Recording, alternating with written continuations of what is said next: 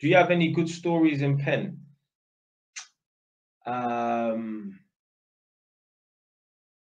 So basically, do you remember I was saying yeah that like there was uh if you lot was in the stream, basically there was some Hackney boys, they didn't like me on the wing, yeah. So basically, these Hackney boys, yeah, they were all anti-London Fields. So some of them were from Ballance Road, some of them were from Kingsmead, Hoxton, everywhere apart from London Fields. Yeah, there was like 10 of them on the wing.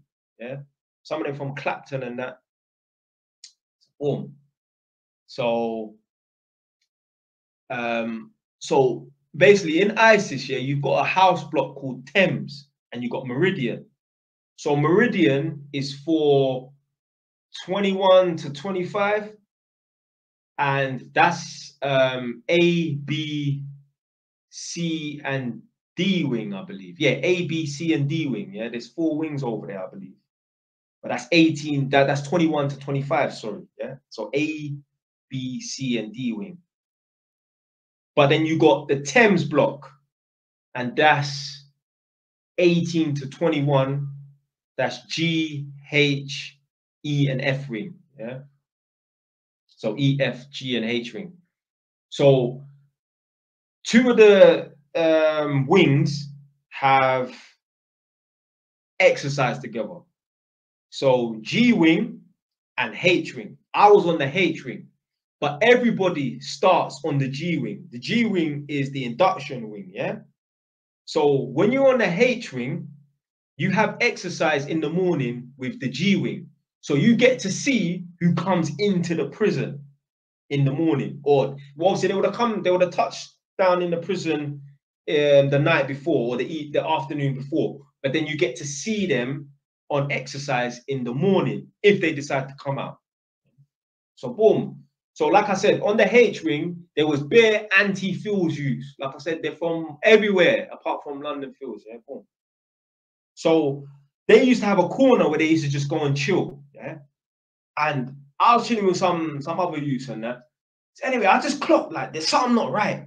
Yeah. I just you you know you could just feel it and eh, them, these men are planning a drill. Yeah. I can't remember what we called it back back in the day. These are planning to move to something, innit? So boom, I just you could just tell them man just whispering, whispering, whispering, whatever, innit? And anyway, I clocked, yeah, they're gonna move to one of these two or three youths that's on the other side. I could just tell. So boom. So obviously the gobs have said, right, everyone in, whatever.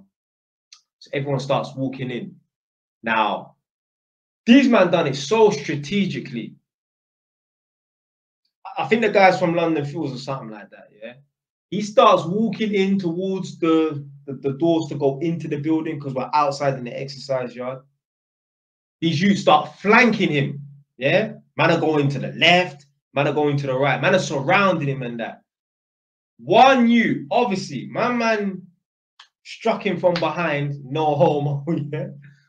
I've never seen someone, this guy literally dived and banged him.